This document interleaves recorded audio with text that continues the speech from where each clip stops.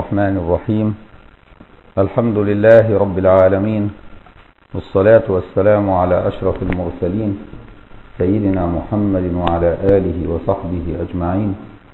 أما بعد يقول المصنف رحمه الله تعالى القاضي أبي شجاع والشارح رحمه الله تعالى ابن قاسم الغزي والمحشي رحمه الله تعالى سيدنا الشيخ إبراهيم البيجوري ونفعنا الله بعلومهم جميعا وبعلومكم في الدارين آمين.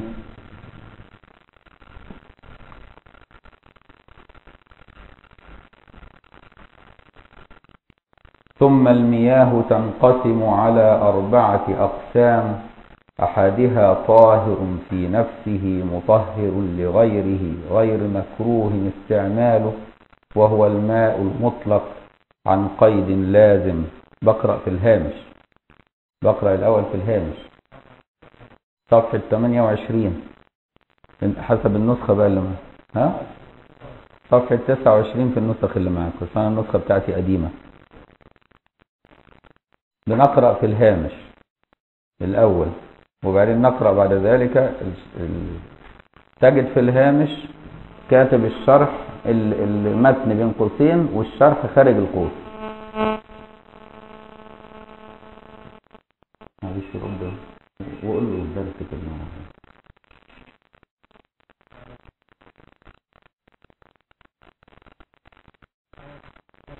ثم المياه تنقسم على أربعة أقسام.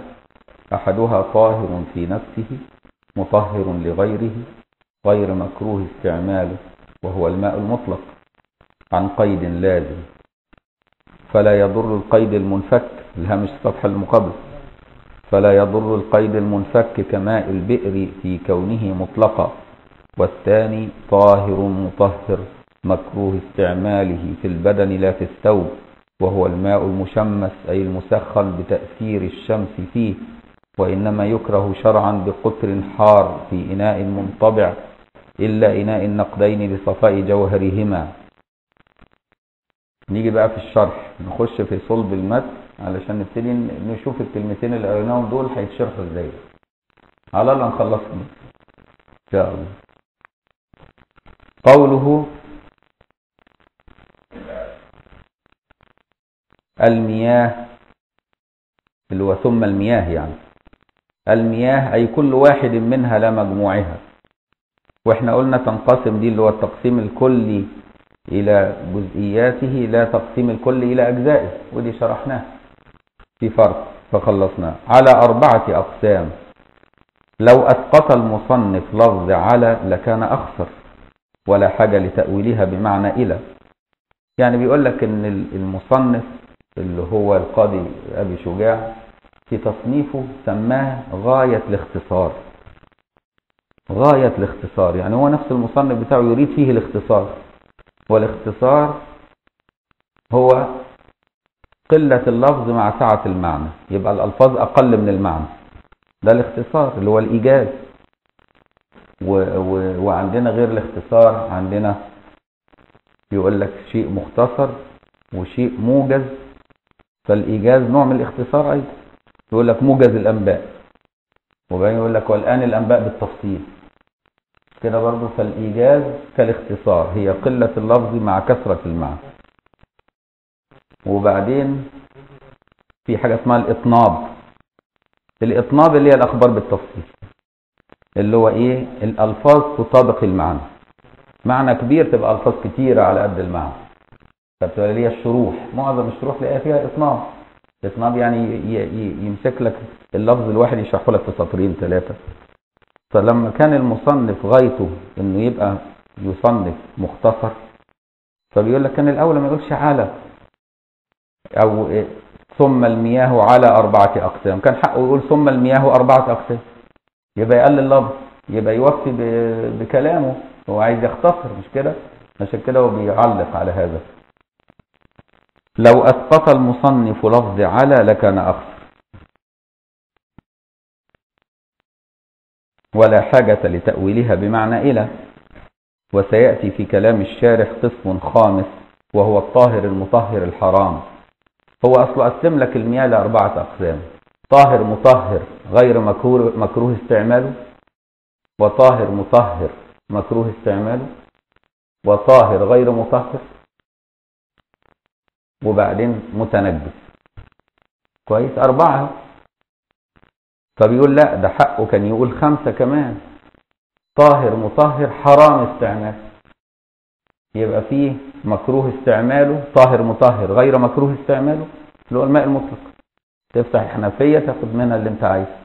ده ماء مطلق مطلق عن كل عن أي قيد لازم. يبقى ده طاهر مطهر غير مكروه استعماله مباح استعماله في طاهر مطهر مكروه استعماله اللي هو الماء المشمس في إناء منطبع بقطر حار. واخد بالك ليها شروط هيقولها لك بعد كده. وفي ماء بقى طاهر مطهر حرام استعماله ما جابش سيرته. فكان حقه يقوله بقى بالمرة. ادي كلام إيه الشارح بيقول كده. طيب الماء الطاهر المطهر اللي حرام استعماله؟ قال لك زي ماء مغصوب ماء مسروق. مش كده برضو؟ واحد سرق مية. تبقى المية دي حرام. بس هي المية ما زالت طاهرة مطهرة. صح ولا لا؟ ما هي طاهرة مطهرة ما تغيرتش لكنها منه حصل عليها بالغصب والسرقة فصار حرام استعمال. إذا توضأ وضوءه صحيح وصلاته صحيحه لكنه حرام يأس. ووضوءه باطل عند الحنابلة. وضوءه بالماء الحرام باطل عند الحنابلة. وصلاته بهذا الوضوء تبقى باطل. عند الحنابلة الشافعية يقولوا لا وضوءه صحيح ويأسم ولكن لا ثواب له في وضوئه ولا ثواب له في صلاته. لكن تسقط عنه الفرض ولا نأمره بالإعادة. واخد بالك؟ ده رأي الشافعية ومن حيث النظر في الأدلة تجد رأي الشافعية أقوى من حيث الأصول المعتبر وبرضه في ماء طاهر مطهر حرام استعماله زي المياه الموجودة في الأبار البلاد اللي ربنا غضب عليهم ولعنهم. انت فتحت مغارة فرعونية قديمة بقى لها 4000 سنة مطربقة. مقفول. لقيت فيها زلعة مية. فده ماء حرام استعمال. ليه؟ لأن ربنا بيقول أتبعناهم في هذه الدنيا لعنة. فصار الماء ده ملعون. فهتستعمله يمكن يجرى لك حاجة. تعيا ولا يجرى لك حاجة. وعشان كده حتى هم شافوا لعنة الفراعنة. الناس اللي تعاملوا مع مثل هذه الأشياء أصيبوا بأمراض غريبة. ولدرجة إن الأجانب نفسهم قالوا عليها لعنة الفراعنة. الفراعنة وهي صحيحة لعنة ولكن مش من الفراعنة. لعنة لحقت بالفراعنة وبما حول أموالهم. فاللعنة ملحوقة بهم. أتبعناهم في وسببها هي من الله لعنهم. وعشان كده النبي صلى الله عليه وسلم نهى عن استعمال آبار آبار ثمود. لأن ربنا برضو لعنهم. اللي هم قوم صالح.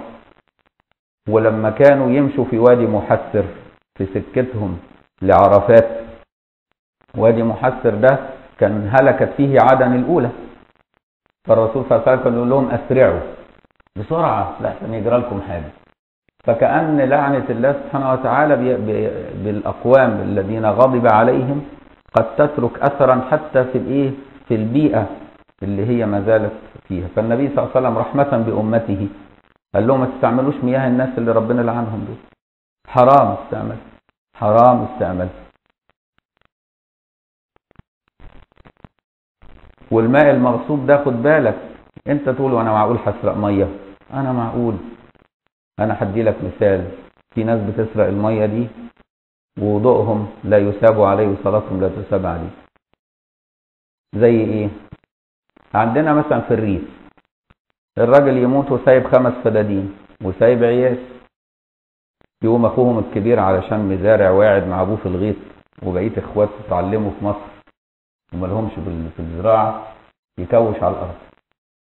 يقول لهم لازم أنتوا مهندسين وانتوا دكاترة بقى وانتوا محاسبين. لكن أنا غلبان طول عمري قاعد مع أبويا هنا في الحقل ما تعلمتش الأرض دي بتاعتي.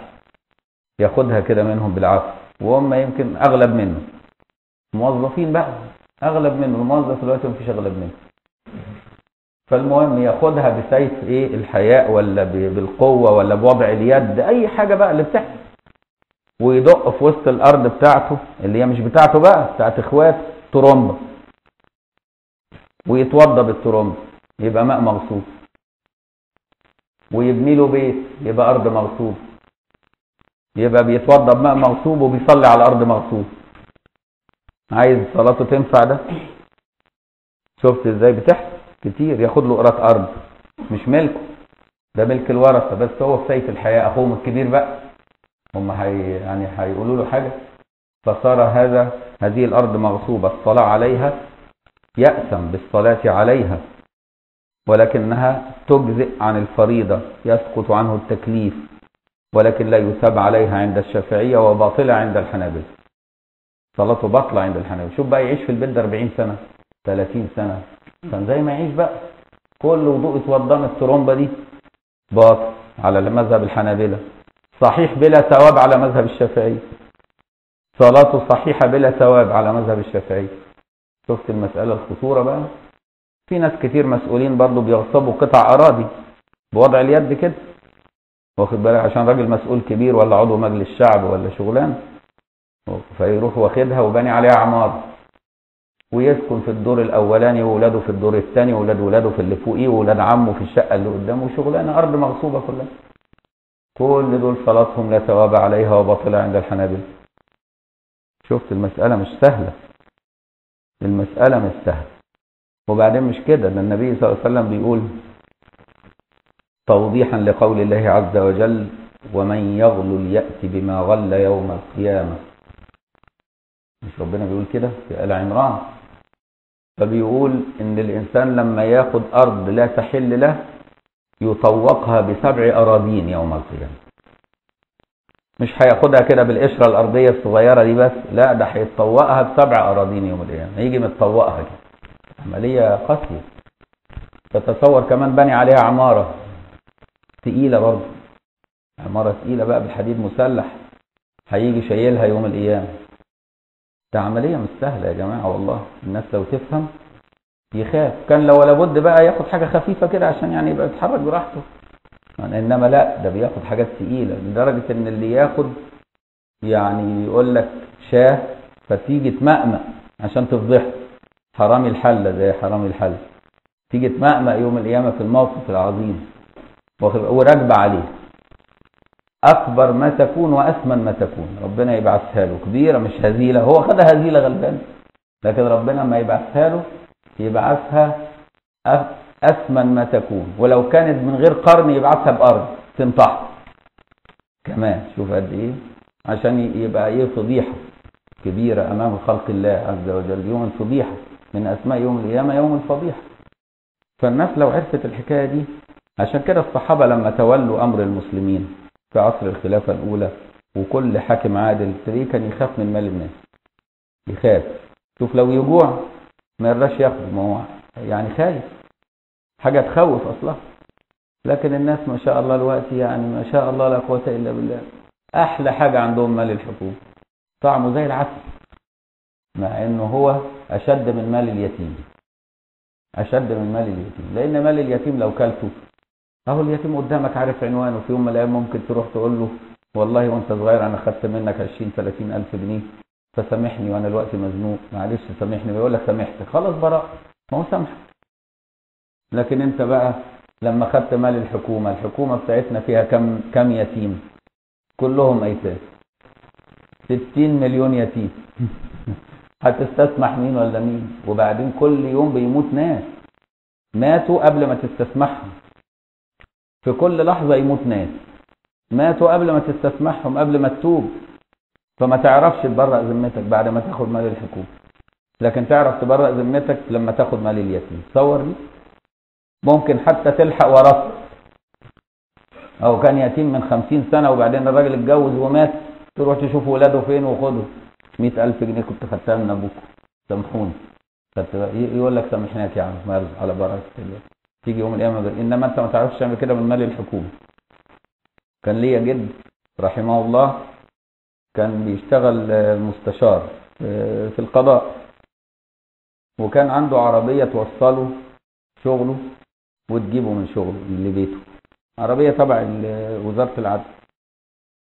وكان ابنه في مدرسة كده على بعد حوالي 2 كيلو من بيته. بس لازم العربية تمشي في سكة ثانية فكان لما يجي كل يوم وهو راجع يوصله السواق يقول له نزلني هنا.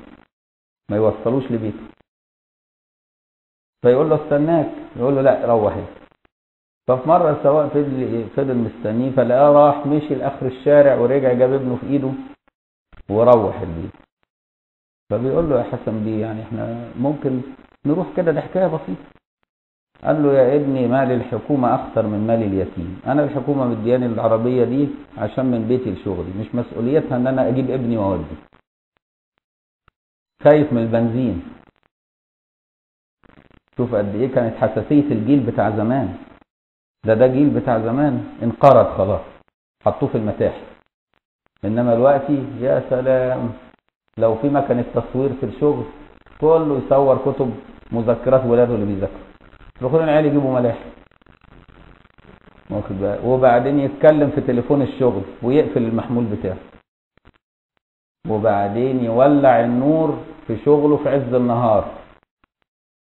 في حين إن في بيته أول ما النهار يطلع يطفي النور لأن هو اللي بيدفع فاتورة الكهرباء. لكن في شغله مش هو اللي بيدفع فاتورة الكهرباء. الحساسية دي اختفت. وعلشان كده البركة اتنزعت. ما هو المال الحرام ده بينزع البركة. فالواحد ياخد باله. الماء المسبل برضه للشرب حرام استعماله الماء المسبل للشرب حرام استعماله في الأماكن قليلة الماء. يعني واحد حاطط زير كده في حتة صحراء عشان الناس تشرب. وانت بقى معدي تقف بعربيتك تاخد انت الزير ده تتوضى منه الله.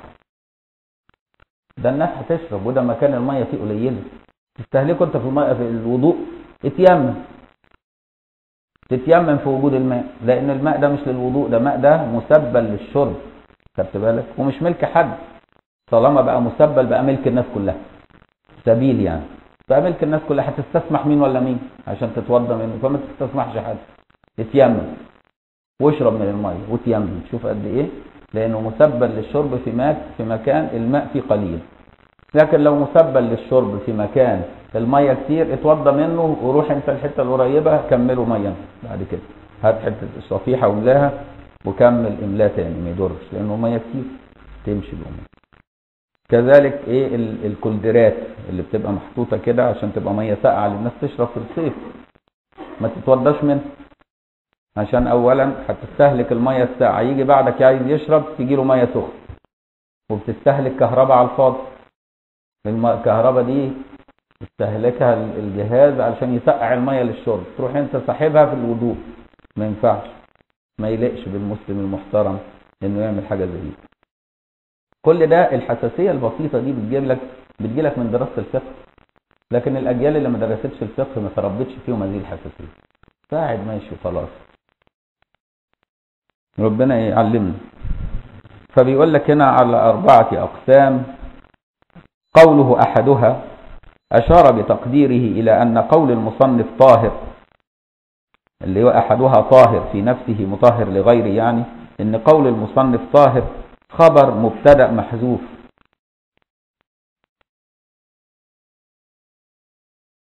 أحدها طاهر في نفسه طاهر بالضم كده. تضمها ليه؟ لا يجوز الابتداء بالنكره تقول لي مبتدأ. أقول لك لا يجوز الابتداء بالنكره ما ينفعش. فهمت إزاي؟ لا يجوز الابتداء بالنكره ما ينفعش تجيب نكره تقول لي مبتدأ لأن لا يجوز عند العرب الابتداء بالنكره يبقى طالما طاهر جاية كده في الأول الكلام يبقى دي اسمها خبر. طب المبتدا فين؟ يقول لك محذوف. يبقى دي خبر لمبتدأ محذوف. تقدير أحدها هو طاهر أو هي إذا كانت ماء نقول هي. أو ماء واخد بالك هو بتقديره فهي خبر مبتدأ محذوف. علشان ما تقولش طب ليه الشيخ قال خبر؟ ما كان يقول لنا مبتدأ وخلاص هو لازم يغلبنا. لأن لا يجوز الابتداء بالنكرة. فما ينفعش تعربها مبتدأ خدت بالك؟ وهكذا يقال فيما يأتي وهذا غير متعين. إذ يجوز فيه أيضا الجر على البدلية. يعني يجوز في وجه اللي تقولها. إيه على أربعة أقسام طاهر. يبقى بدل من أربعة مش هو بيقول على أربعة وعلى حرف جر؟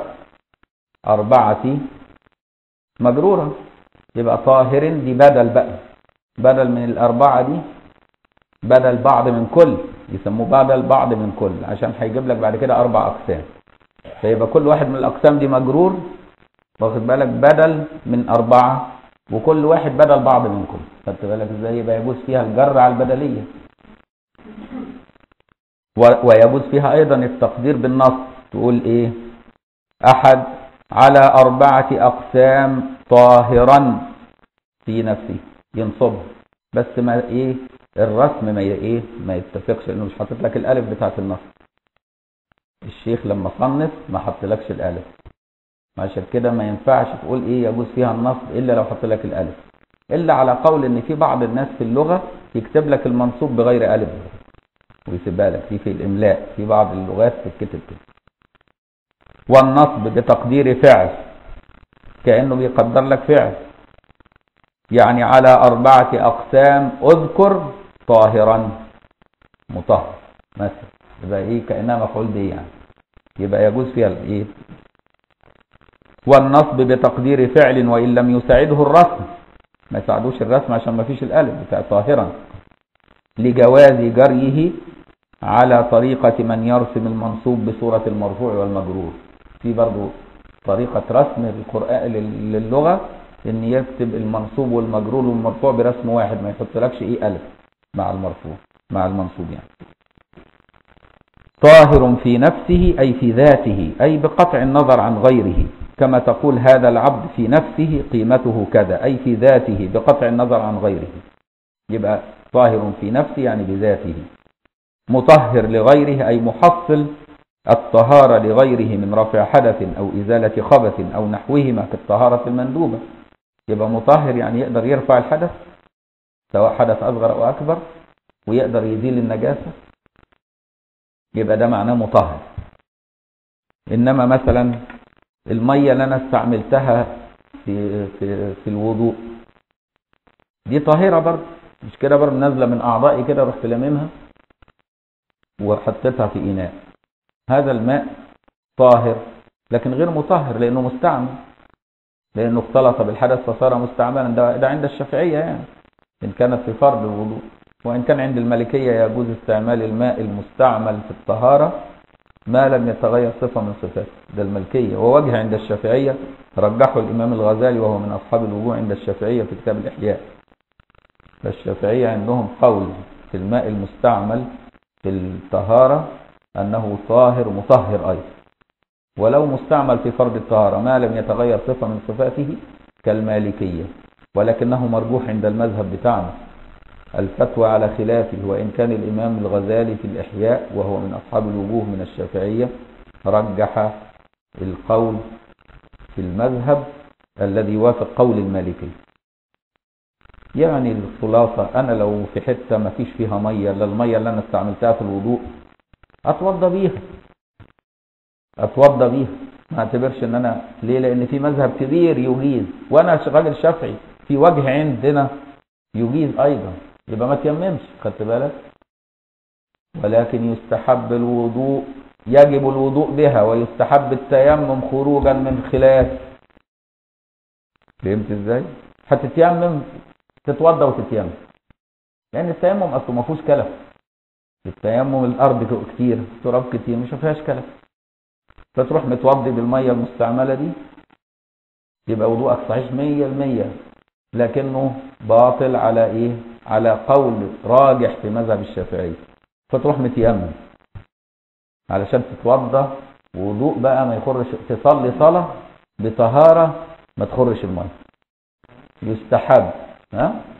يجمع بالاثنين التيمم على سبيل الاستحباب للخروج من الخلاف والوضوء على سبيل الوجوب لعدم جواز التيمم في وجود الماء الذي يصح استعماله. خدت بالك؟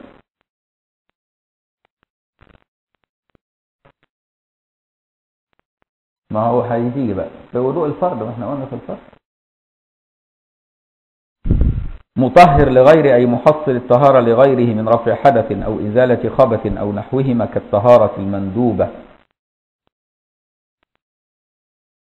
لأن الطهارة المندوبة دي ما بترفعش حدث ولا تزيل خبث. يعني أنا بجدد الوضوء. أنا ما عنديش أحداث أهو.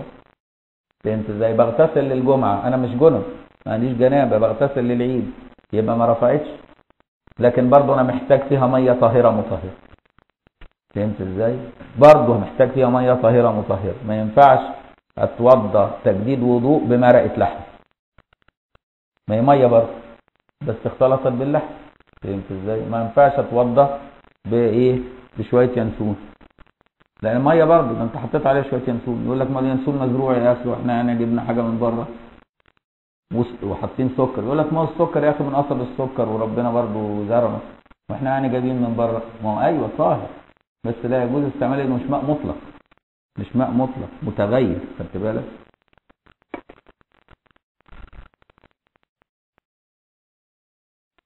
مطهر لغيره غير مكروه. الكراهة ثبوتا أو عدما إنما تنسب للأفعال. أما يقول لك غير مكروه هي المية بتبقى نقول عليها مكروه ومستحب هي المية أصلا مكلفة. ده كلمة مكروه ده ده على وصف لفعل المكلف. والماء مش مكلف ده المكلف أنت. فبيقول لك مكروه ماء مكروه. يقول لك هو المية مكروهة هي المية تتكره. ده اللي مكروه هو الاستعمال. لأن الاستعمال ده فعل المكلف. فهمت إزاي؟ وعشان كده الشارح لما بيقول هنا طاهر مطهر غير مكروه. كتب الشارح إيه بعد؟ خارج القوس قال لك استعماله. علشان يبين لك إن اللي مكروه هو استعماله مش الميه لا تفتكر إن الكراهة هنا تنطبق على الماء لأن الماء مش مكلف المكلف أنت. خدت بالك؟ عشان كده بيقول إيه؟ غير مكروه الكراهة ثبوتا أو عدما إنما تنسب للأفعال اللي هو فعل المكلف يعني كباقي الأحكام لأنه لا تكليف إلا بفعل. فلذلك احتاج الشارح إلى تقدير استعماله فقول استعماله أي لذاته. وهو إيه هو تعريف بقى الماء الطاهر المطهر غير مكروه استعماله ده؟ قال لك هو غير أي الطاهر المطهر غير الم- المكروه استعماله. ثلاث قيود. طاهر مطهر غير مكروه استعماله. ثلاث قيود أهو. فالقيود ثلاثة. فالقيود إيه؟ ثلاثة. الماء المطلق. إيه هو الماء المطلق؟ هو المية اللي كل الناس عارفة إنها مية. يعني مطلقة عن كل قيد. يعني أما أقول لك أنا عطشان عايز مية تجيب لي مية ورد. هقول لك ده أنت مش فاهم بقى لغة العرب. يا ابني أنا عطشان هات لي مية تجيب لي مرقة. يقول لي ما هي مية يا بيه بقى ما يجراش حاجة انت يعني هتدق يا ابني أنا عطشان هات مية. يبقى هيجيب لك مية مية. ما يجيبلكش كوكاكولا ما بيقولوا عليها مياه غازية. فهمت إزاي؟ ما يجيبلكش 7 أب. يقولوا عليه مية برضه الخمرجيه يقولوا على الخمرة مية. صح؟ الأطباء يقولوا على الجلوكوز ال 5% مية. يعني إحنا بنشتغل العملية اما أقول لدكتور التخدير العيان ناقص مية أديله مية. يروح معلق له جلوكوز 5% بس الميه برضه لكن ما ينفعش أتوضى بيها فهمت إزاي؟ يبقى الماء المطلق هو المطلق عن كل قيد لازم. يعني يعني مية اللي كل الناس عارفاها إيه؟ مية. أدي معنى ماء مطلق. مطلق عن كل أي قيد لازم. إنما القيد اللازم اللي يخرجه عن إيه؟ عن طبيعته. أقول لك ماء ورد. واخد بالك إزاي؟ أو أقول لك مثلا ماء غازي. يبقى كوكاكولا وسبورت كولا و7 أب. والشغلانات دي كلها يبقى خرجتها عن كونها.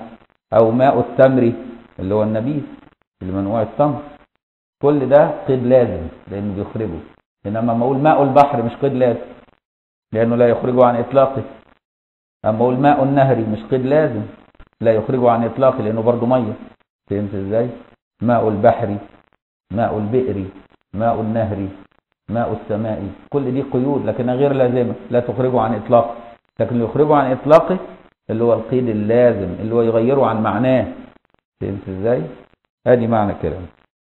الماء المطلق هو ما يسمى ماء بلا قيد لازم. يبقى قال لك القيد قد يكون لازما وقد يكون غير لازم. القيد اللازم اللي هو يخرجه عن إطلاقه زي ماء الورد ده قيد لازم. إنما القيد غير اللازم لا يخرجه عن إطلاقه زي أقول ماء البحر ماء النهر. فهمت إزاي؟ ماء الترومبة ماء الحنفية كل ده قيد غير لازم. فهمت إزاي؟ لا يخرجه عن إطلاقه. هو ما يسمى ماء بلا قيد لازم عند العالم بحاله من أهل العرف واللسان. اللي هم من أهل العرف اللي هم المتعارفين عليه واللسان اللي هم العرب. فالعرف خرج إيه زي ما بقول لك إحنا الأطباء أما يقولوا مية يقصدوا جلوكوز 5% دول أهل العرف. لكن لما أقول أنا الدكتور زميلي أنا عايز مية مش هيجيب لي إزازة جلوكوز 5% هيجيب لي كوباية مية كده أشربها؟ صح ولا لأ؟ لكن لما يكون العيان متبنج ما ما بيشربش أقول له اديله مية هيجيب له كوباية؟ هيجيب له جلوكوز 5% يعلقه في الوريد وهكذا. يبقى العرف ساعات يغير.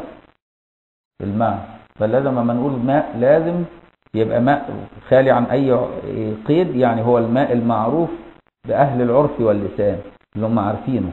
اللسان يعني العربي. ليخرج المستعمل لأن الماء المستعمل ما اسموش ماء مطلق. اسمه ماء مستعمل.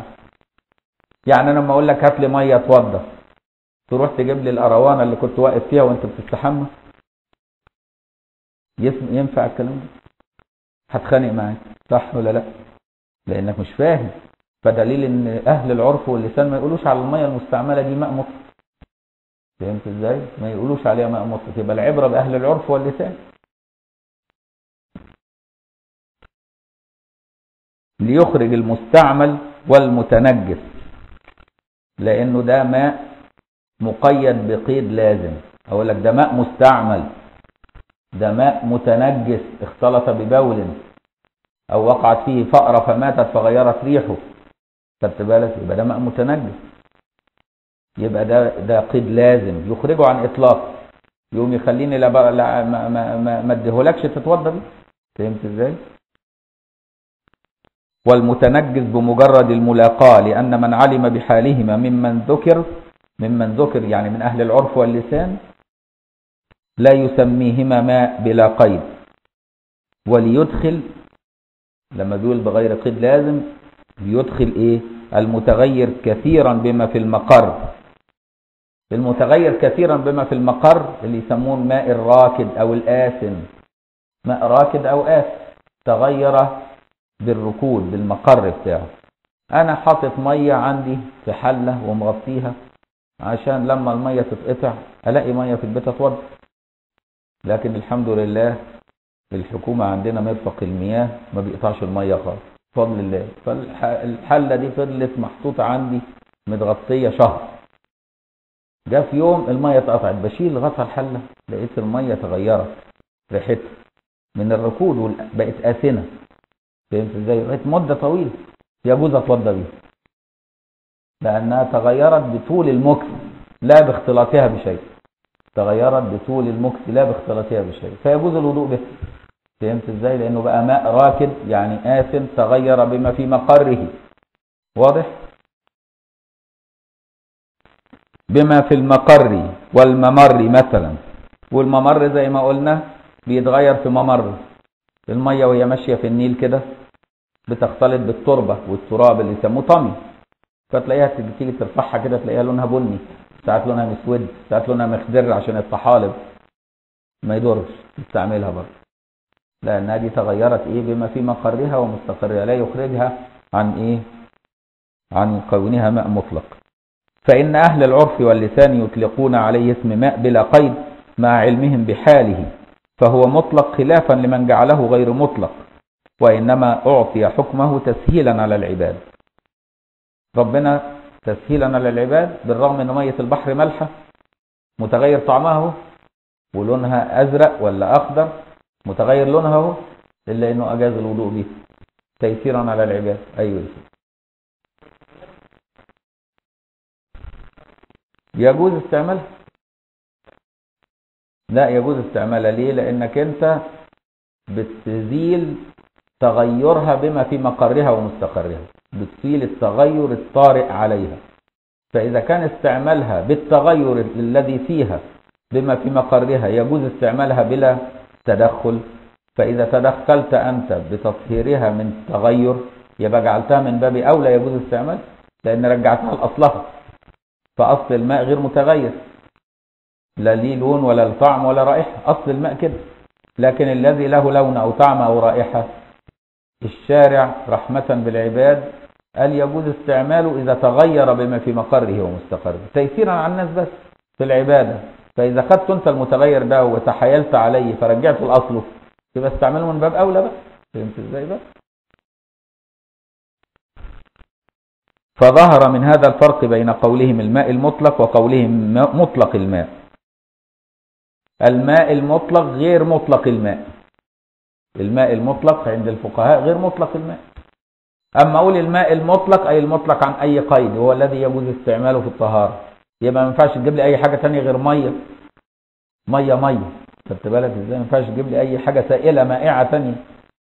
لكن أما أقول مطلق الماء يبقى ممكن تجيب لي ينسون. ما هو مية. مطلق الماء. يعني ما, ما يطلق عليه كلمة ماء يعني لفظ. خدت بالك إزاي؟ إن شاء الله مرقة. إن شاء الله منقوع التمر. آه، كوكا كولا سيفن أب كل دي مية. مش كده برضو؟ يعني اللي إحنا نسميها سوائل. تديله سوائل. يقول لك الولد ده عنده إسهال تديله سوائل كتير. تديله مية وتديله ليمونات وتديله لبن تديله كل الحاجات. تمشي. ففي فرق بين الماء المطلق ومطلق الماء. خلافا للنحويين. النحويين ما يميزوش في النحو بين الحتة مش مش في الحتة دي في قولهم هيقولها لك هنا. بين قولهم الماء المطلق وقولهم مطلق الماء. الماء المطلق الأول هو ما جمع الأوصاف الثلاثة. الأوصاف الثلاثة. الماء المطلق اللي يجمع الأوصاف الثلاثة اللي هو طاهر مطهر غير مكروه استعمال فهمت إزاي؟ التي ذكرها المصنف. ولا يصدق بباقي الأقسام. والثاني اللي هو مطلق الماء يشمل الطاهر والنجس والمستعمل والمطهر وكل يشمل كل. هي المية المتنجسة مش مية برضه مطلق ماء. البول يقول لك أنا هعمل مية. يعني يدخل يتبول. نسميها مية برضه خدت بالك إزاي؟ لكن ينفع ما تقول له هتوضى يخش يعمل مية ويديك الكوباية؟ تقول له إحنا هنا معمل تحليل. ما ينفعش. ما هي دي مية برضه يقول لك ما هي دي مية يا عم الشيخ. الله وانت يعني هتعقدها ليه؟ يبقى مش فاهم. ده من أهل ليس من أهل العرف ولا من أهل الايه ولا من أهل اللسان. لأن أهل العرف واللسان ما يقولوش عليها. هي دي المية المطلقة. وهذا إنما هو اصطلاح الفقهاء فلا ينافي أن قولهم الواو لمطلق الجمع مساو لقولهم الواو للجمع المطلق. يعني في باب في باب العطف في النحو يقول لك الواو حرف الواو لمطلق الجمع وساعات يقول لك للجمع المطلق. فدي نفس المعنى. مطلق الجمع هو الجمع المطلق لكن مطلق الماء ليس هو الماء المطلق. فهمت الكلام؟ مطلق الماء ليس الماء المطلق لكن مطلق الجمع هو الجمع المطلق. خدت الكلام؟ عشان لحسن تيجي بعد كده تروح قافل الباب ده وتروح جايب كتاب النحو. بعد ما يقول لك إن مطلق الماء غير الماء المطلق تروح أنت كاتب في كتاب النحو يقول لك الواو لمطلق الجمع أو للجمع المطلق تقول الله. ده النحويين بيقولوا الجمع المطلق هو مطلق الجمع. اشمعنى الفقهاء بيقولوا كده. قال لك خد بالك الفقهاء حاجة والنحويين حاجة ثانية عشان ما يختلطش عليك. فلا ينافي أن قولهم الواو لمطلق الجمع مساو لقولهم الواو للجمع المطلق. غاية الأمر أن العبارة الأولى فيها تقديم الصفة على الموصوف والثانية بالعكس تقديم الموصوف على الصفة. مطلق الجمع مطلق الجمع والجمع المطلق. الجمع المطلق هنا الجمع والمطلق تبقى صفة ومطلق الجمع تبقى مضاف إليه. إذا بدلت هتبقى مضاف إليه. الجمع هيبقى مضاف إليه. خدت بالك؟ عن قيد لازم وهو الماء المطلق عن قيد لازم. القيد اللازم هو الذي لا ينفك. خد بالك. اكتب دي في الهامش زي ما سمعناه من مشايخ. القيد اللازم هو الذي لا ينفك. كقولك المستعمل والمتنجس. ده لا ينفك. خدت بالك؟ والقيد الغير لازم هو الذي ينفك كقولك ماء آس. فهمت إزاي؟ أو ماء البحر أو ماء البئر. ده قيد برضه بس إيه؟ ينفك. لا يخرجه عن إطلاق. يبقى تاخد المثالين دول تقوم إيه؟ تتحل عندك المشكلة. عن قيد لازم بأن لم يقيد أصلا أو قيد قيدا منفك. يبقى القيد الماء الخالي عن قيد لازم بأنه, بأنه بغير قيد أصلا أو القيد اللي فيه قيد منفك. فهو صادق بصورتين. الأولى ما لم يقيد أصلا بأن تقول هذا ماء. أقول هذا ماء. خلاص. ما قلتلكش ماء الحنفية يعني. ما قلتلكش إيه؟ ماء الزجاجة ما قلتلكش ماء الثلاجة. كل دي قيود منفكة ما تخرجوش عن إطلاق. فهمت إزاي؟ ماء الدورق ماء الزير كله قيود منفكة ما يضرش. يقول لك يا ابني هات لي أي مية بقى خلينا أتوضى مش زير يا شيخ ولا يا عم هات لي مية اتوضى لأن دي قيود كلها غير منفكه قيود قصدي منفكه غير غير لازمه لا تخرجه عن إطلاق. خدت بالك؟ والثانية ما قيد قيدا منفكا كأن تقول ماء البحر أو ماء البئر وخرج بذلك المقيد بقيد لازم كالإضافة في قولهم ماء البطيخ ماء العنب. أو في الصفة كقوله ماء دافق يخرجه يبقى الماء الدافق ليه معنى ثاني أو ال التي للعهد في قوله صلى الله عليه وسلم لما قالت له أم سلمة هل على المرأة من غسل إذا هي احتلمت؟ قال نعم إذا رأت الماء يعني المني. فهمت إزاي؟ لأنه ده في قيد. قيد ال هنا إذا رأت الماء أي الماء المعهود. الماء المعهود اللي هو إيه؟ اللي هو زي المني. اللي هو المعروف يعني المني. والتقييد باللازم لا حاجة إليه فهو مستدرك لأنه المنصرف إليه اللفظ عند الإطلاق فذكره للإيضاح. يعني بيقول لك إن مش شرط يقول ماء مطلق. ها؟ وقصدي لو قال ماء طاهر مطهر وسكت خلاص. لكن هو الفقهاء عايزين يفهموه. هو لك ماء مطلق ويجي الشرح يقول لك عن كل قيد لازم. يقول لك يعني حتى اللزوم ده قوله قيد لازم كلمة لازم دي حقه كان يقول مطلق عن كل قيد وخلاص. لأن القيود الغير اللازمة المنفكة دي ليست قيود. فحقه يقول لك عن قيد وخلاص. ما يقولوش لا لازم ولا منفك ما يقسمش. لأن القيد المنفك مش قيد أصلا فهمت إزاي؟ ده كلام إيه؟ الشيخ يعني. لا حاجة إليه في قوله باللازم لأنه المنصرف إليه اللفظ عند الإطلاق فذكره للإيضاح بس. ده شرح. قسم القيود للازمة ومنفكة للإيضاح بس عشان يشرح لك ويوضح لك. لكن في الحقيقة إن القيد المنفك ده الغير لازم ده مش قيد أصلا. فهمت إزاي؟ ده قيد بس في اللفظ لكن مش في المعنى. فلا يضر. فلا يضر القيد المنفك كماء البئر في كونه مطلقا. تفريع على قوله عن قيد لازم ولم يفرع الصورة الأولى وهي ما لم يقيد أصلا لظهورها وإنما فرع الصورة الثانية لأنها هي محل التوهم. بحسب تفتكر إن أي ماء مضاف إليه صفة تخرجه عن إيه؟ قال لك لا مش أي صفة تضاف للمية تخرجه عن استعماله في الطهارة إلا لو كانت قيد لازم. خدت بالك؟ بس. القيد المنفك أي في بعض الأوقات إذ قد يقال عليه ماء بلا قيد ولذلك دخل في الماء المطلق ولو في الجملة أي بالنظر لكونه قد يطلق عليه ماء بلا قيد كماء البئر. مثال للمقيد بالقيد المنفك. ماء البئر ماء البحر ماء النهر ماء الترمبة ماء الحنفية ماء الثلاجة ماء الكلدير الماء المؤطر زي ما أخونا بيقول كل الحاجات دي تمشي. كلها قيود غير منفكة غير مقيدة غير لازمة لا تخرجه عن إطلاق.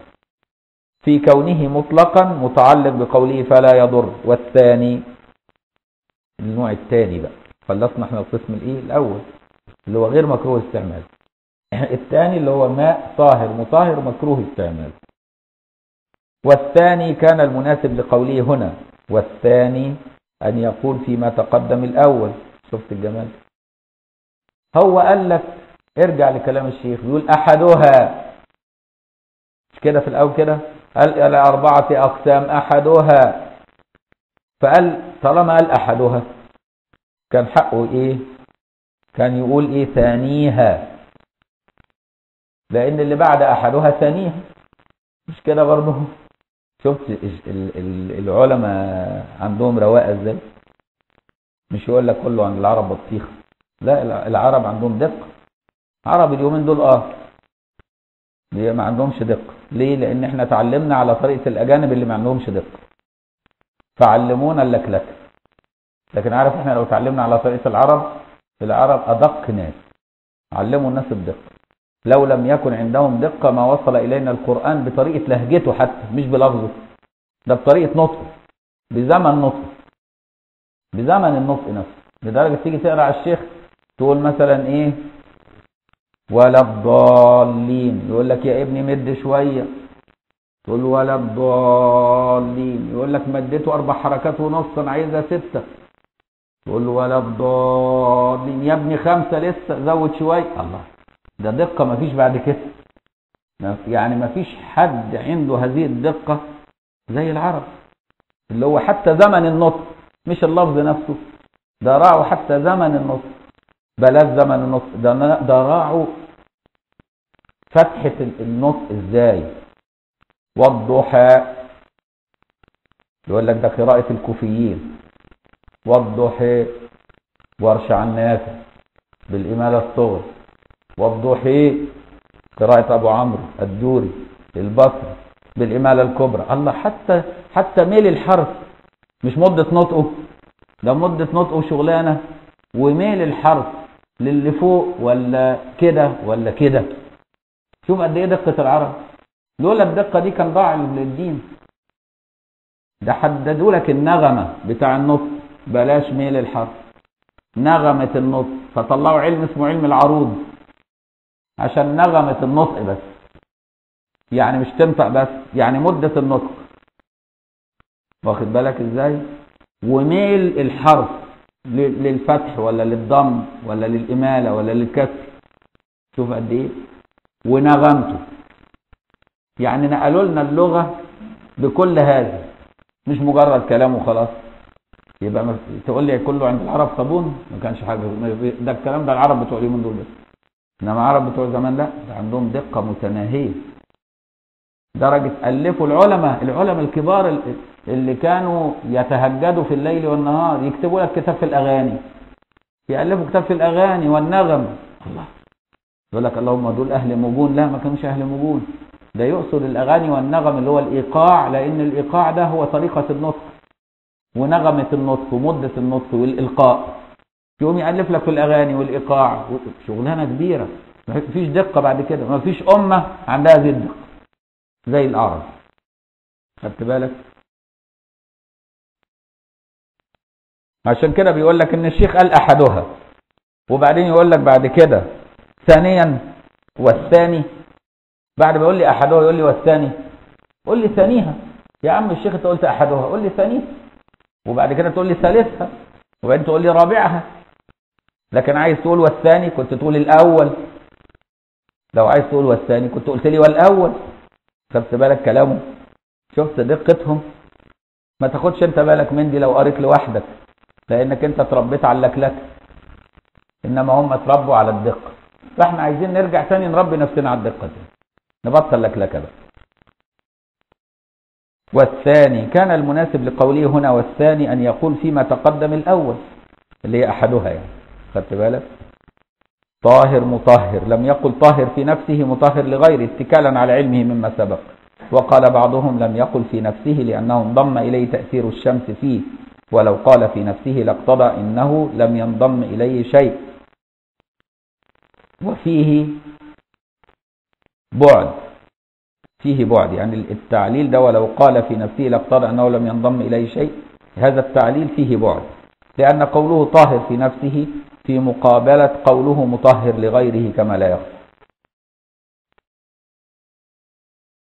فلما قال طاهر في نفسه مطهر لغيره الثاني قال طاهر مطهر فما قالش في نفسه فمش محتاج يقول لك مطهر لغيره. عشان كده حذف في نفسه بس مش مسألة إن الشمس دخل فيها وما دخلش فيها. خدت بالك إزاي؟ قوله مكروه استعماله قد عرفت نكتة تقديره استعماله. نكتة يعني إيه نكتة؟ انت فاهم النكتة؟ كان في واحد صعيدي مش عارف عامل يقول ها ها هي دي النكتة. انت فاهمها كده مش كده؟ زي ما لا النكتة يعني الحكمة.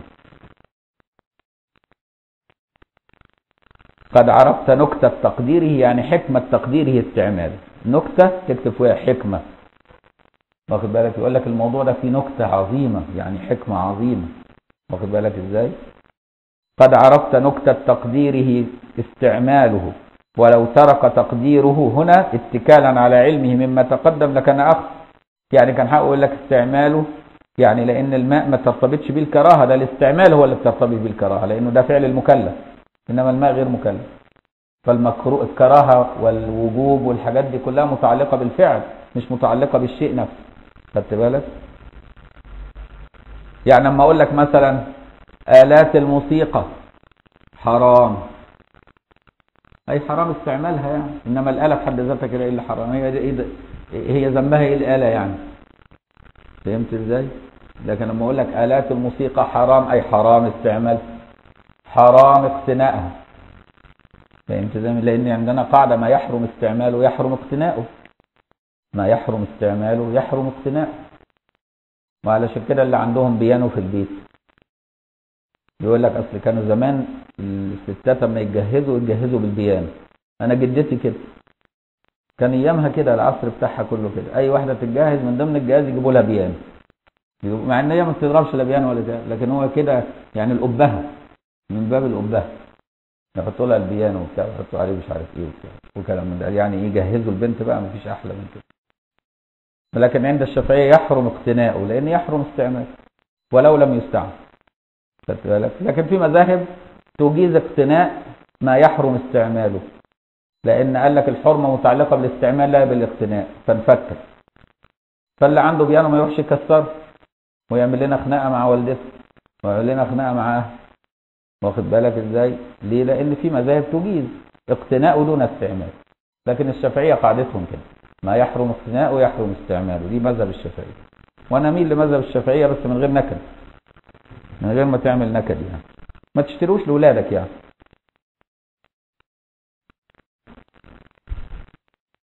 ولو ترك تقديره هنا اتكالا على علمه مما تقدم لكان اخسر وشمل إطلاقه استعماله في الطهارة وغيرها. شمل إطلاقه استعماله في الطهارة وغيرها وهو الراجح. وأفاد كلامه كراهته. يعني لما بيقول لك مكروه استعماله الماء المشمس المكروه استعماله ده. يعني استعماله يا عم الشيخ في الطهارة بس لكن ممكن أعمل بيه شيء ممكن يعني أطبخ بيه؟ ولا مكروه مطلقا حتى في مطلق الاستعمال؟ أدي معنى كلام الشيخ. فبيقول وقد شمل إطلاقه استعماله مكروه استعماله مطلق كده بلا قيد؟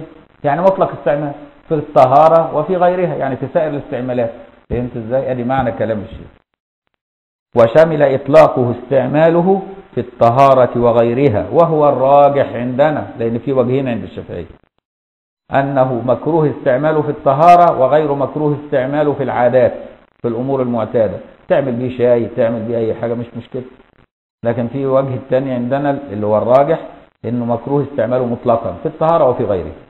يبقى فيه الوجهين خدت بالك؟ وهو الراجح وأفاد كلامه كراهته وإن لم يداوم على استعماله وهو المعتمد. خلافا لابن سراقة في تلقينه.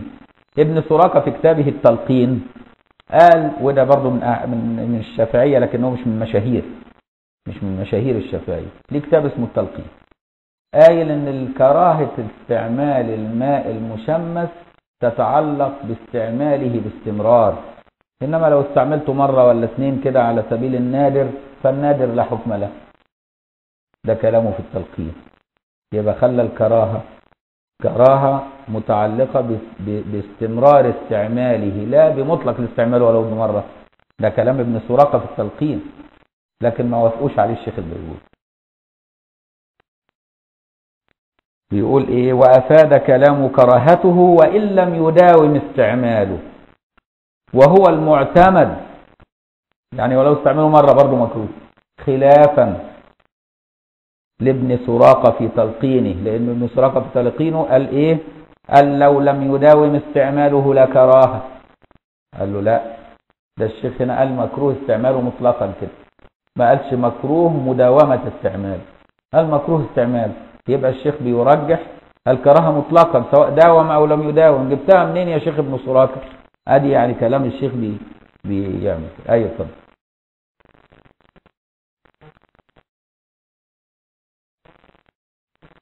لا بشروط سبعة هتجيلك بشروط سبعة. ما هو قال لك مطلقا بقى إحنا عندنا مطلقا ولو لم يداوم. ما إحنا عندنا هل استعماله يعني في الطهارة وغيرها؟ ولا في الطهارة بس إنما غيرها؟ يمشي. قال لك إن إطلاقه استعماله مطلقا كده دليل في الطهارة وغيرها يبقى حتى في الري كويس؟ حتى في الري ده على كلامهم. خد بالك الشافعية هم اللي قالوا الكلام ده. الملكية عندهم الماء المشمس استعمله ولا كراهة في قال إحنا بنشرح مذهب الشافعيه لكن الملكية ما عندهمش مشكلة فيه ولا الأحناف. ده ده مذهب الشافعيه خلينا بس نخلص الحتة دي. نقف في جملة مفيدة وبعدين نسأل. عشان عارف ممكن سؤالك هتلاقي إجابته بعد لحظة. بس مش. مش الماء المشمس مكروه استعماله مطلقا بشروط. لازم شروط هجيبها لك بعد شوية لحظة. مش أي ماء مشمس. وشمل ولا كده. ولا فرق في الكراهة بين القليل والكثير والمغطى والمكشوف. طالما شمس يعني استخن بالشمس سواء كان مغطى مكشوف سواء كان قليل كتير كله ولكن المكشوف أشد كراهة لشدة تأثير الشمس فيه. عن المغطى. كويس؟ في البدن. استعماله في البدن لا في الثوب. أو قال لك هو لا في الثوب تغسل بيه يعني مبروك. قالها الشيخ ما ترموهمش بقى استعمال في البدن أي بدن من يخشى عليه البرص. أصل هم كانوا زمان متصورين إن الماء المسخن في الشمس في إناء منطبع يعني مطروق يعني من نحاس أو من حديد في قطر حار بالقيود دي. إذا استعمل في البدن بيعمل زهومة الزهومة دي تيجي على إيه؟ على الجلد تعمل برص فهمت إزاي؟ فقالوا مكروه استعماله في البدن. لكن الثوب أنت مش خايف الثوب يجي له برص استعمله في الثوب. خدت بالك؟ في البدن. طبا لم يثبت. طبا لم يثبت. لكن ما زالت الكراهة عندنا رجحها الشافعية إلا أن الإمام النووي لم يرجح الكراهة. واختار عدم الكراهة. الإمام النووي كالمالكي وهو من أئمة المذهب. لكن الفتوى على الكراهة خلافا لترجيح الإمام النووي. واخد بالك إزاي يعني حكاية واسعة. حكاية واسعة سهلة. في البدن أي بدن من يخشى عليه البرص أو زيادته أو استحكامه. فش يعني يخشى عليه أن يجي له برص أصلا أو هو عنده برص فممكن يزيد أو عنده برص فممكن ما يخفش. أدي معنى زيادته أو استحكامه. يعني يتحكم في المرض. فشمل الأبرص لأنه قد يزيد برصه أو يستحكم. وشمل أيضا بدن غير الآدمي. حتى غير الآدمي اللي أنت خايف يجي له برص كالخيل البلق. الخيل الأبلق ده ده خيل غالي. ده تلاقيه عبارة عن سواد في بياض. الخيل الأبيض الأبلق ده خيل عربي أصيل. تلاقيه سواد في بياض ده من أغلى أنواع الخيول. فاللي عنده خيل بلق دول بتلاقيه بيتعامل معاه أحن ما يتعامل مع ابنه. شوف قد إيه؟ لأنه خيل آه بيبقى غالي. فأنت لو لو أنت خايف على بدنك من البرص ما أنت لو حميت الخيل ده يقوم يجي له برص في في السواد بتاعه فيبيض تبقى بقعة بيضه في وسط سواده كده غير اللي ربنا خالقها تعيبه. تيجي تبيعه تخف فيقول لك كمان إيه؟ أي بدن تخاف إن يجي له مرض ده ما تستعملوش فيه. كالخيل البلق. بخلاف بدن من لا يخشى عليه ذلك كغير الخيل البلق. هو كاتب الخليل؟ أنا عندي كاتب كغير الخليل البلق. يبقى النسخة بتاعتكم كويسة. ولا فرق بين ظاهر البدن وباطنه. ولا فرق بين ظاهر البدن اللي هو البشرة الظاهرة أهي. وباطن البدن اللي هو داخل الفم والبلعوم والحلق والشرج. ده اسمه باطن البدن يعني أي تجويف فيه فيه بشرة. لأن برضو فمك ده باطن لكنه فيه بشرة برضو. مش كده برضو؟ الجهاز الهضمي بتاعك كله يعني ما تشربوش لأنه لا فرق بين ظاهر البدن وباطنه. فهمت إزاي؟ يبقى ما تشربوش برضه ولا فرق بين ظاهر البدن يعني البشرة وباطنه فلو شربه ولو في مائع كره بخلاف تناوله في جامد من الطعام الاستهلاك. يعني لو شرب ولو في مائع يعني عمل بيه شاي مكروه برضه لأنه استعمله في باطن البدن. لكن لو استعمله في جامد يستهلك في الجامد. يعني طبعا عجنت بيه الدقيق عجنت بيه الدقيق وبقى عيش. ده جامد. يجوز. لأنه استهلك فيه. أدي معنى في جامد. بخلاف تناوله في جامد من الطعام لاستهلاكه. لا في الثوب أي ولا في طين وأرض وآنية. كويس أهو. لا في طين ولا أرض ولا آنية ولا في ثوب يعني سائر الاستعمالات الأخرى. ونحوها. ولو غسل ثوبه بالماء المشمس ثم لبسه. ما هو الثوب هيلزق على البشرة. مش كده برضو؟ لو غسل ثوبه بالماء المشمس ثم لبسه فإن كان ذلك حال رطوبته وحرارته كره. يعني لو لبسه هو لسه مبلول مكروه لأنه كده كأنه لمس بدنه بالماء المشمس. وإلا فلا وإلا لو لبسه بعد ما ينشف ما يجراش حاجة فهمت إزاي؟ أدي معنى كلام. ولا تعود الكراهة إن عرق فيه. طب افرض لبسه ناشف لكن عرق فيه فرجع اتبل تاني. ما تعودش ليه الكراهة؟ الشيخ عايز يقفل لك أي احتمال يجي في مخك. ما هو عارفك بتفكر إزاي. فهمت إزاي؟ فعايز يصلح لك كل حاجة. ولا تعود الكراهة إن عرق فيه على المعتمد خلافا لما نقله المحشي اللي هو البرماوي لما يقول إبراهيم البيجوري المحشي يقصد البرماوي عن القمولي وأقره. القمولي والمحشي اللي هو البرماوي قالوا إنه لو عرق فيه يتبل تعود لي الكراهة. فهمت؟ لكن بيقول لك لا ده الكلام ده بتاعهم هم. ده اجتهاد من عندهم إحنا مش موافقين عليه يا عم ما دعوة. ها؟ ده كلام الشيخ إبراهيم. وهو الماء.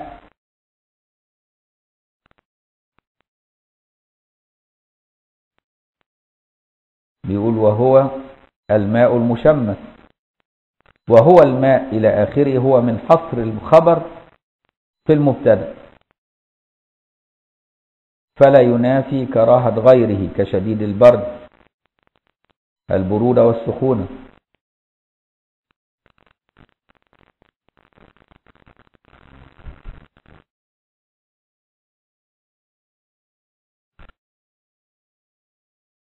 خد بالك إن في حصر إضافي وحصر حقيقي.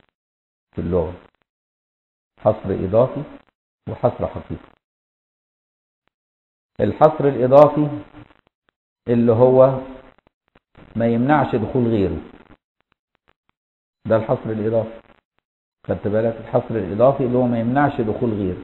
إنما الحصر الحقيقي اللي هو يحكم إن الحكم في المحصور ده بس بحيث ما يدخلش غيره. ده الحصر الحقيقي. حصر المبتدأ في الخبر حقيقي. حصر المبتدأ في الخبر حقيقي إنما حكس حبس إنما حصر الخبر في المبتدأ اضافي حصر الخبر في المبتدأ اضافي أما تقول هو الماء هو مبتدأ والماء خبر. المستعمل. يبقى أنا حصرت هنا إيه؟ الخبر في المبتدأ. مش كده برضو؟ خليت الماء المستعمل ده المكروه المشمس ده محصور في هو اللي هو إيه؟ اللي هو المبتدأ. حصرت الخبر في المبتدأ. يبقى ده حصر إضافي لا يمنع من دخول غيره. يبقى ممكن نقول إن الماء شديد البرودة وشديد السخونة أيضا مكروه استعمال. فهمت إزاي؟ غير الماء المشمس برضه مش الماء المكروه استعماله مشمس بس وما يدخلش حاجة ثانية ليه؟ لأن ده حصر إضافي. عشان كده بيقول لك هو من حصر الخبر في المبتدأ. فلا ينافي كراهة غيره. شفت كلام الشيخ؟ لأن حصر الخبر في المبتدأ حصر إضافي لا يمنع دخول غيره. إنما حصر المبتدأ في الخبر يمنع دخول غيره. أما تقول إيه؟ محمد رسول الله. يبقى ما فيش حد معاه رسول. فهمت إزاي؟ حصرت المبتدأ في الخبر. حصرت المبتدأ في الخبر. المبتدأ محمد. خبره إيه؟ رسول. يبقى ما ينفعش يدخل غيره. يعني مش أي واحد محمد يبقى رسول. لا ده محمد المعلوم. محمد بن عبد الله سيد الخلق النبي التهمي الزمزمي القرشي. يبقى مش أي محمد يعني. يجي لي محمد كده من أوروبا يقول لي انت بتقول محمد رسول أنا محمد أهو. زي محمد القدياني ادعى النبوة في القديانيه وكفروا وكان يغسل نفسه مش عارف بيه عشان يبقى منور وبتاع ويوهم الناس. فمحمد رسول. ده حصر إيه؟ حصر المبتدأ في الخبر. يبقى حصر حقيقي. لا يمنع دخول غيره. فهمت إزاي؟ وما محمد إلا رسول.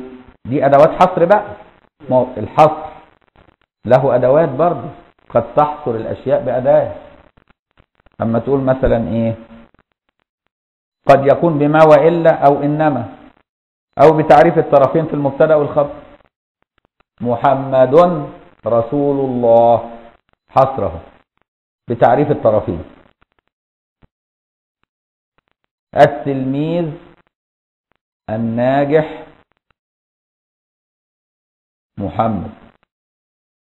بتعريف الطرفين خدت بالك إزاي؟ وقد تحصر بأداة. تقول وما محمد إلا رسول. ما وإلا. ما وإلا إيه؟ من أدوات الحصر. طب تفيد إيه لما أقول وما محمد إلا رسول؟ وما أقول محمد رسول الله. طب ما كان ممكن ربك سبحانه وتعالى محمد رسول الله. ليه قال وما محمد إلا رسول. لأن الحصر هنا يدل على أن ليس له وظيفة أخرى إلا أنه يبقى رسول.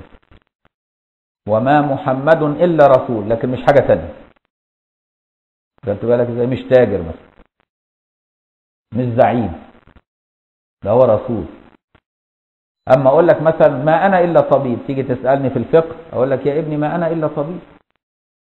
يعني ما أعرفش في الفقه. فهمت إزاي؟ يعني حصرت نفسي في الحاجة دي. ما أنا إلا كذا يبقى حصر نفسه في الحتة دي. فهمت إزاي؟ ده أسلوب حصر وإنما برضه حصر. إنما الأعمال بالنيات. أسلوب حصر خدت بالك إزاي؟ دي كلها أساليب حصر. يبقى الحصر عموما حقيقي وإضافي. والحقيقي يمنع دخول غيره. والإضافي لا يمنع دخول غيره. ومثال الإضافي حصر الخبر في المبتدأ. لا حصر المبتدأ في الخبر. افهم الحتة دي فهمتها؟ طب نجي بقى نشوف الكلام الشيء وهو الماء. هو من حصر الخبر في المبتدأ من طريق تعريف الطرفين. لأن لا يكون المبتدأ والخبر حصر أسلوب حصر إلا لو كان بتعريف الطرفين. فهمت إزاي؟ لكن لو جبت الخبر نكرة واخد بالك إزاي؟ والمبتدأ قصدي نكرة وبدأت بالخبر علشان يعني يجوز الابتداء بالنكرة في حالة تقديم الخبر عليه. هتقول مثلا إيه؟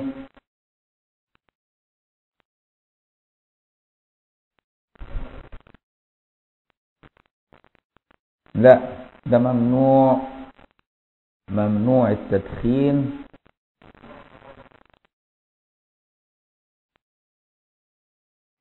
لا. ممنوع دي ما تنفعش تبقى خبر مقدم. تمشي. تمشي يلا.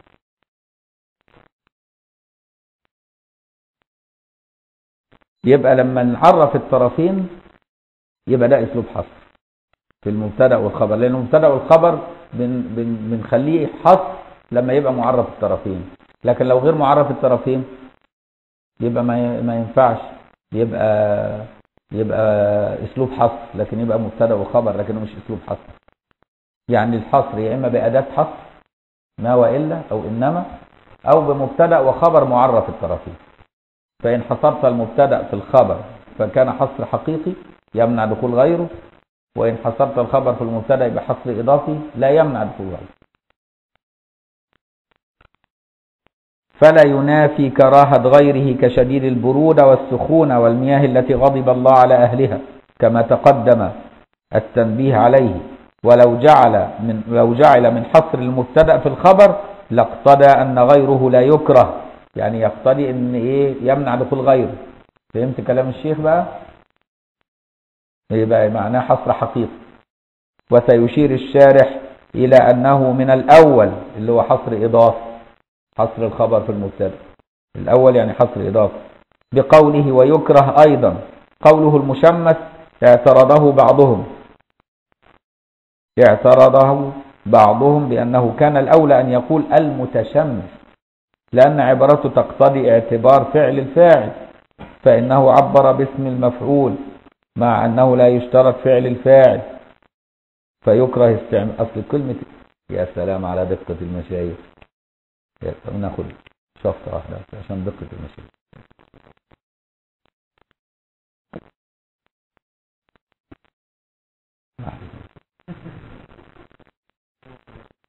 شوف يا سيدي. هو بيقول الشيخ بيقول الماء المشمس. بيقول لك كان حقه يقول المتشمس. في فرق بين المشمس والمتشمس. المشمس يعني فعل فاعل لأن أنا خدته وشلته وحطيته قدام الشمس. ده معناه مشمس اسم مفعول. يعني وقع عليه الفعل الفاعل يعني كأنه اشترط فعل الفاعل بكلمة المشمس. لكن مش الحكاية كده. ده حتى لو تشمس بنفسه. بغير فعل فاعل برضه مكروه. فهو كان حقه يقول المتشمس. شفت الجمال؟ تاخد بالك انت من اللفتات دي من غير المشايخ دول؟ عشان تعرف ان المشايخ دول عالم منورة بس. شوف يا سيدي. المشمس اعترضه بعضهم بأنه كان الأولى أن يقول المتشمس لأن عبارته يعني المشمس تقتضي اعتبار فعل الفاعل. فهمت إزاي؟ فإنه عبر باسم المفعول وطالما اسم المفعول اللي هو المشمس يبقى وقع عليه فعل فاعل. مش كده برضه مع أنه لا يشترط فعل الفاعل فيكره استعماله سواء تشمس بفعل فاعل أم لا. وأجيب بأن الفاعل هو الشمس فهو مشمس بتأثير الشمس مش بتأثير نفسه مش بتأثير فعل الفاعل. الناس دفعت عن الشيخ قالوا لهم لا المشمس صح يا عم الشيخ مش المتشمس. ليه؟ هل انت مش بتقول يشترط فعل الفاعل في المشمس؟ ده هو آه قال لك ده ده ده تأثير الشمس ده هو مشمس بتأثير الشمس. فيدخل المتشمس. فهمت إزاي؟ يعني بيردوا على بعض المشايخ. مناقشات جميلة عارف بتخليك تتعلم الذكاء وتتعلم الدقة. صحيح مش هينبني عليها عمل. يعني أنت النهاردة هتروح البيت يعني ما استفدتش مني كتير. واخد بالك؟ لكن أنت تستفيد الدقة تستفيد البحث. لما تيجي تقعد تقرأ في كتاب زي ده إزاي تعرف تطلع علم؟ مش كانوا زمان وإحنا صغيرين يقول لك بيقرأ في الكتب الصفراء يا ده وحش. كرهونا في الكتب الصفراء وهي كتب تراثنا كتب أجدادنا اللي حملوا لنا الدين. وبعدين بقينا نقرأ في الكتب اللي متصححة بالكمبيوتر. مليانة أخطاء هجائية زي التوراه والإنجيل. مليانة مصحفة تصحيح لكن اقعد اقرا في الكتب الصفراء دي تلاقي ما فيش ولا خطأ هجائي. لأنه كانوا العلماء يقعدوا يراجعوها كلمة كلمة قبل ما يطبعوها. إنما أنت دلوقتي تعمل كوريكشن بالكمبيوتر. تك تك تك. يقول لك خلاص اطبع. تطبع تلاقي نصه غلط. صح ولا لا؟ إنما زمان جيل زمان ده كان حاجة ثانية وأجيب بأن الفاعل هو الشمس مش المكلف اللي هو خلاه يتشمس. فهمت إزاي ده الفاعل هو الشمس نفسه؟ فهو مشمس بتأثير الشمس فيه كما أشار إليه الشارح بقوله بتأثير الشمس فلا فيه فلا يشترط فعل فاعل غير الشمس. قوله بتأثير الشمس فيه أي بحيث تفصل من الإناء من الإناء ذهومة تظهر على وجهه. بحيث تفصل أو تفصل. بحيث تفصل ذهومة أو تفصل يعني الشمس ذهومة فلو خليتها تفصل تبقى ذهومة ناقص فاعل لو خليتها تفصل يعني أي الشمس تفصل هي ذهومة مفعول به. أي بحيث تفصل من الإناء ذهومة تظهر على وجه الماء مع كونها من منبث فيه أيضا. أنت لما تحط المية في إناء نحاسي وتحطه في الشمس كده مدة طويلة تلاقي عليه طبقة كده ملونة. هي دي الذهومة صح؟ دي اسمها الذهوم بيقول لك إن الشمس تأثيرها منبث في كل الإناء مش في طبقة الذهومة بس. مش معناها تشيل تقشط الحتة دي وتستعمل الباقي. لا ده هي منبثة كلها في الإناء كله. مع كونها منبثة فيه يعني بتفصل ذهومة وهي منبثة فيه تأثير الشمس منبث في الماء كله. ولذلك لو خرق لو خرق الإناء من أسفله لو عمل فتحة كده يعني حط الإناء ده تصور إن الإناء ده برميل. والمية الشمس ضاربة في كده عاملة ذهومة على سطح وأنا عامل حنفية في آخر البرميل. وبفتح زي زمان كان في بيت جدي كده في البلد. واخد بالك إزاي؟ فتفتح الحنفية تاخدها انت من قاع الإناء يبقى بعيد عن الحتة اللي فيها الشمس. خدت بالك إزاي؟ بيقول لك برضه ولو خرق الإناء من أسفله واستعمل الماء كره لأن الماء الشمس منبثة فيه كله مش في حتة الزهومة دي بس. ولا عبرة بمجرد انتقاله عن البرودة إلى الحرارة. وإن نقل في البحر عن الأصحاب الاكتفاء بذلك. وإن نقل في البحر وإن نقل في البحر اللي هو بحر المذهب الروياني. وإن نقل الروياني في البحر أي كتابه المسمى بحر المذهب. فهم؟ وإن نقل اللي هو الإمام الروياني في البحر أي في كتابه المسمى بحر المذهب. حوالي 24 مجلد في مذهب الشافعي بحر المذهب. بحر المذهب بحر يا عم. خش فيه كده تعود. وما زال في التحقيق على فكرة. وقد يكون طبع لأنه كان من سنتين سمعت إن هم بيحققوا فيه وناويين يطبعوه كتاب بحر المذهب فإذا انتهوا منه قد يكون طبع. أنا ما رحتش معرض الكتاب السنة فممكن نسمع كتاب بحر المذهب للروياني ده من من الكتب العظيمة في ال... نقل الروياني بقى في البحر. الكلام ده. شوف المشايخ بيوفروا عليك الاطلاع على الكتب دي حتى اللي ما اتطبعتش. شوف يا سيدي. ولا عبرة بمجرد انتقاله عن البرودة إلى الحرارة لأن ما زال تأثير الشمس منبث فيه. وإن نقل في البحر عن الأصحاب الاكتفاء بذلك أي بنقله من الإيه؟ من الإيه؟ من الشمس لحتة تانية باردة لحد ما يبرد واستعمله الروياني نقل كده عن بعض الأصحاب قال لك لا عبرة بهذا النقل. تظل الكراهة منبثة فيه. فهمت إزاي؟ أيوه اتفضل.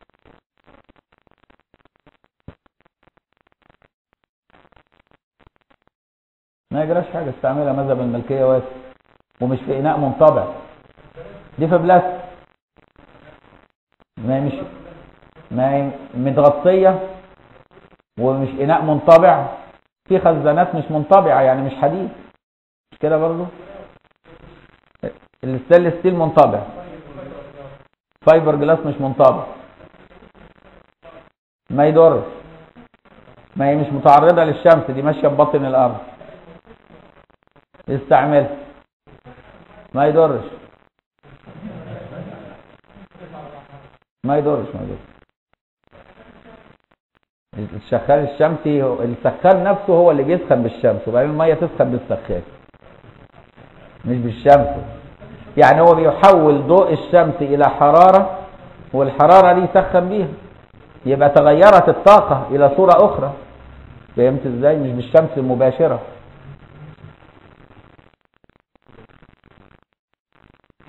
لازم يبقى إناء منطبع يا جماعة في قطر حار. لازم إناء منطبع في قطر حار. يعني لو حطيته في أوروبا وتشمس وسخن ما يجراش حاجة. لازم في قطر حار. قاعد في الاستواء في خط الاستواء. مصر مش قطر حار. قالوا لخوف البرص عشان كده قال لك في البدن لا في أيوه من جهة الطب. كراهة من جهة الطب. عشان كده الإمام النووي بيقول الكراهة من جهة الطب لا من جهة الشرع. واخد بالك إزاي؟ فإذا قال الطبيب أنه يضر ضر من جهة الطب والشرع يؤيد الطب إن إيه؟ إن بين أنه يضر لأن لا ضرر ولا ضرار. كويس؟ فالإمام النووي بيقول وقد ثبت من جهة الطب أنه لا يضر فزالت الكراهة فرجح عدم الكراهة. فهمت إزاي؟ ده كلام الإمام النووي في المجموع. الإمام النووي في المجموع قال الكلام ده. لكن الشيخ إبراهيم الباجوري ما عجبوش كلام الإمام النووي. فهمت إزاي؟ هنشوف هنا هتيجي. يبقى لازم يكون في قطر حار في إناء منطبع وإنه يستعمل في البدن لا في الثوب. خدت بالك؟ بالشروط دي كلها خد بالك. لازم الشروط كلها. فما تقوليش بقى المية اللي محطوطة في الإزاز دي واتعرضت للشمس مكروه لأن ده مش إناء منطبق ولو في قطر حار فهمت؟ لأن ده زجاج أو حطيتها في صيني أو حطيتها في زير فخار. كل ده ما فيهاش مشكلة. إناء منطبع منطبع يعني مطروق. جاي بالدق إنما الخزف مش مطروق الحاجات دي كلها مش متروكه الفايبر جلاس دي مش مش كده برضو؟ وهكذا. يبقى لازم بالشروط دي. اسمعني بس نخلص دي عشان عايزين إيه؟ إحنا كنا المفروض نمشي الساعة 9 فبيقول إيه؟ فهمت وإن نقل في البحر عن الأصحاب الاكتفاء بذلك؟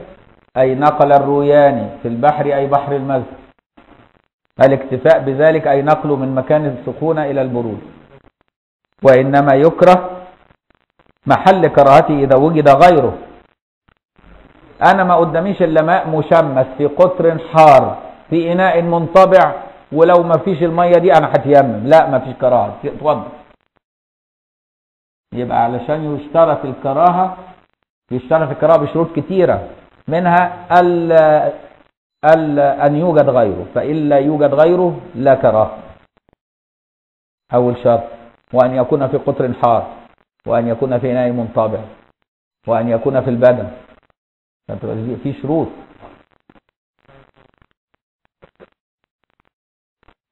محل كراهته إذا وجد غيره إذا وجد غيره يعني وإلا فلا كراهة حيث احتاج للطهارة به بل يجب استعماله. ساعتها مش يروح يتيمم ويقول لي أصل المية دي مشمسة. ما ينفعش تتيمم بل يجب استعماله إذا ضاق الوقت ولم يجد غيره. يبقى متى يجب استعمال الماء المشمس؟ سؤال في الامتحان الشفوي. يسألونا كده في فقه الشافعي. متى يجب استعمال الماء المشمس؟ أصل هم عارفين إن الشافعي يقول لك مكروه استعماله. الشيخ عايز بقى إيه؟ يعني في الامتحان يلف لك الموضوع. فيقول له متى يجب استعماله يا ابني؟ يجب يعني يأثم لو ما استعملوش. يقولوا إذا لم يوجد غيره وجب استعماله وإذا ضاق الوقت ووجد غيره وجب استعماله يعني أنا قدامي إناء فيه ماء مشمس. ولكن في مية تانية غير مشمسة بس مسافة طويلة على ما أوصل لها. وأنا لو وصلت لها وأنا في آخر وقت الظهر هيدن عليا العصر. يبقى هنا ضاق الوقت. يبقى يجب استعمال ده والحق أترك ركعة من الظهر قبل ما العصر يبدأ. مش هروح أنا البلد الثانية ولا الشقة الثانية لا الحق بقى لأنه ضاق الوقت. يبقى إذا ضاق الوقت أو لم يوجد غيره وجب استعماله. يبقى متى يجب استعمال الماء المشمس؟ ومتى تزول الكراهة؟ إذا وجد غيره. متى تزول الكراهة؟ إذا لم يوجد غيره. تزول الكراهة إذا لم يوجد غيره. يبقى يباح استعماله بلا كراهة. إذا لم يوجد غيره بل يجب استعماله إذا ضاق الوقت ولم يوجد غيره خدت بالك؟ أي. أي. لأنها مطلق ماء لكن المغصوب لا. المغصوب لا. آه. إذا قلنا بكراهتها وده وجه. كراهة استعمال مياه الناس المغضوب عليها يبقى يجب استعمالها إلى يوجد غيرها. وإذا قلنا بحرمتها يبقى كأنها مش موجودة زي الماء المغصوب على حسب أنت هتمشيها على على القول بالكراهة ولا بالحرمة؟ فإذا خليتها في الحرمة لا يا حرام. ها؟ أيوه يعني اللي محظور استعمالها سواء مكروه أو حرام يعني معناه محظور استعمالها. سواء هذا الحظر حرمة أو كراهة. فهمت إزاي؟ إنما يكره محل كراهته إذا وجد غيره وإلا فلا كراهة حيث احتاج للطهارة به بل يجب استعماله إذا ضاق الوقت ولم يجد غيره وترتب الضرر على استعمال وترتب الضرر على استعماله غير محقق ولا مضمون. يعني لو شك أو توهم إن هو هيضره لو شك أو توهم إنه يضره فده مش مش متحقق الضرر. يبقى لا يوجد غيره يستعمله. ولو كان ترتب الضرر مشكوك فيه أو متوهم لكن لو غلب على ظنه. فهمت إزاي؟ يبقى بقى ما يستعملوش. ولا نعم لو غلب على ظنه حصول الضرر باستعماله ولو بمعرفة نفسه في الطب حرم استعماله. يبقى ساعتها يتيمم. فهمت؟ عشان كده قلت لك لو قلنا إن الماء المغضوب عليهم مكروه يبقى يستعمله إذا لم يوجد غيره ولو قلنا حرام يبقى ما يستعملوش كأنه مش موجود يتيمم. فهي هتنبني وإحنا بنرجح الحرمة. نرجح أنه حرام. فلا يستعملها حتى لو لم يوجد غيرها يتيمم. خدت بالك؟ شرعا. أيوة وطبا يعني مكروه استعماله شرعا. بيقول في الشرح أيوة وطبا لأن سببها أمر إرشادي من الطب وهو أن الشمس تفصل من الإناء ذهومه. تعلو الماء فإذا لاقت البدن ربما حبست الدم فيحصل البرص أو يزيد أو يستحكم. فهذه الكراهة شرعية وطبية فيثاب تارك ذلك إن قصد الامتثال. ولذلك قال بعضهم قد يكره الشيء طبا وشرعا كما هنا في الماء المشمس يكره طبا وشرعا. وكالشرب قائما يكره طبا وشرعا. وقد يكره طبا ويستحب شرعا. كقيام الليل الدكاترة يقول لك نام شوية ريح بدنك عشان تبقى قوي. وقيام الليل هيقلق منامك ويخليك سهرك ويخليك لا. أو أو قيام الليل يكره طبا ويستحب شرعا يكره طبا ويستحب شرعا وقد يستحب طبا ويكره شرعا. كالنوم قبل صلاة العشاء. كبس عليك النوم خالص بعد ما أكلت بعد المغرب. يا وعينك تقيلة. الأطباء يقول لك نام يا أخي ما تقومش نوم. إن لبدنك عليك حق. نام. والشرع الشريف يقول لك يكره النوم قبل العشاء. ليه؟ لأنك لو نمت هتصحى تلاقي الفجر يبدأ. يضيع عليك العشاء. فهمت إزاي؟ فقد يكره قد يطلب قد يكون مكروه شرعا ويستحب طبا كالنوم قبل صلاة العشاء. وقد يستحب طبا وشرعا. الاثنين. يستحب طبا وشرعا كالفطر في الصوم على التمر. ده يستحب طبا وشرعا. لأنه يرد ما ذهب من البصر من أثر الصوم. وبعدين نقرأ بقى الشروط إن شاء الله اللي هي بقطر الحرب إناء منطبع في البدن لا في الثوب الكلام ده نقوله إن شاء الله في الجلسة القادمة بإذن الله. سبحانك اللهم وبحمدك نشهد أن لا إله إلا أنت نستغفرك ونتوب إليك. إن الله وملائكته يصلون على النبي. يا أيها الذين آمنوا صلوا عليه وسلموا تسليما. اللهم صل أفضل صلاة على أسعد مخلوقاتك سيدنا محمد وعلى آله وصحبه وسلم. عدد معلوماتك ومداد كلماتك. كلما ذكرك الذاكرون وعن ذكرك الغافلون. جزاكم الله خير